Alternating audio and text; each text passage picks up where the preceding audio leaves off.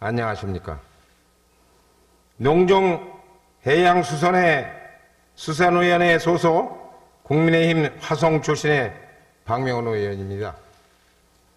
본 의원은 오늘 경기도 의상에 맞지 않는 농정정책의 홀대와 경기 남부 지역의 최대 현안 사항에 대한 졸속 행정의 문제점을 지적하고자 이 자리에 감히 섰습니다. 먼저 경기도 전체 예산 대비 농정 예산 예산 비중에 대한 문제입니다. 최근 급변하는 국제 변화 속에서 먹고 사는 문제가 심각합니다.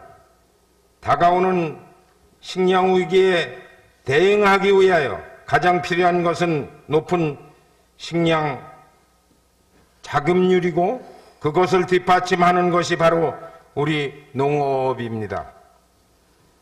현재 농촌 여건이 날로 악화되는 가운데 최근 쌀값 폭락으로 많은 농민들의 시름이 깊어지고 있습니다.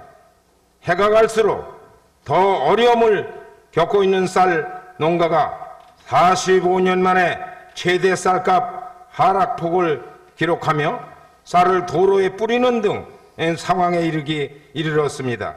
현재 어느 곳보다도 취약한 농업 분야의 보존 대책과 경제력을 높이는 예산을 담아 내야만 하는 중요한 시점입니다. 그러나 2020년 본 예산 기준 경기도 농정 예산은 도전체 예산의 3.5%에 불과합니다. 전국에서 농가 소득이 가장 높은 경기도 농정 예산 맞습니까? 타 광역 지자체도 전체 예산 대비 농정 예산이 5% 이상은 됩니다. 부끄럽습니다. 진정 농업인의 열악한 현실을 개선하고 현장의 농업인 목소리를 들을 의지가 있으십니까? 본 의원은 경기도 농정 예산 비중을 도 전체 예산의 7% 7%로 증액해 줄 것을 요청드립니다. 예산 증액을 통해 농업인이 계속해서 안심하고 농사를 지을 수 있도록 농민 농촌 기본소득 확대는 물론 농자재 지원 등의 정책을 적극적으로 지원해야 합니다. 우리 국민의 정신적 근간이자 식량 주권 시대에 국가 미래가 걸려있는 농업을 외면하지 마십시오. 우리 농정에 대한 관심과 지원을 강력하게 촉구하는 바입니다. 다음은 경기 남부 지역 최대 시원한 사항에 대한 졸속 행정의 문제점에 대해 말씀드리고자 합니다. 수원 전투 비행장 이전에 경기도 공론화 사업의 첫 의제로 선정됐습니다. 수원 전투 비행장 이전을 화성 시민 70% 이상이 반대하고 있습니다. 많은 화성 시민분들께서 1인 시위, 결의대, 기자회견, 서명운동 등을 통해 적극적으로 수원 전투비 행장 이전 반대 활동을 이어오고 있습니다. 특히 특정 지역의 전투비 행장 문제를 전혀 관계없는 지역의 주민이 결정한다는 것 자체가 문제이며 주민 수용성이 전제되지 않은 사업은 실패할 수밖에 없습니다.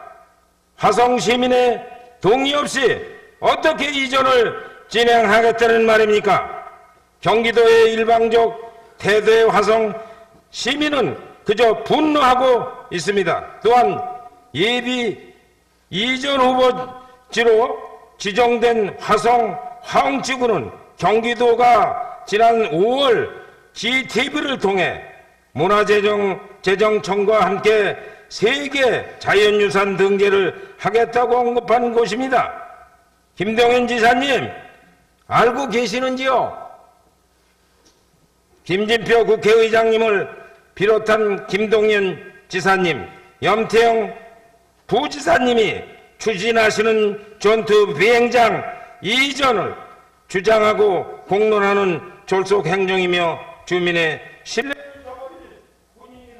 화성시는 화학문화재 정조대왕의 유지를 받들어 이어온 도농복합 도시로서 도시와 농촌이 공존하고 있는 서울시의 1.4배 달하는 면적 인구 95만 내년엔 특례시로 승격할 예정이며 재정 자립도 경기도 제1위 전국 4위를 기록한 정도로 성장 속도가 빠르고 잠재력이 높은 것입니다. 화성시 안영동에서 화성 호로 옮기는 졸속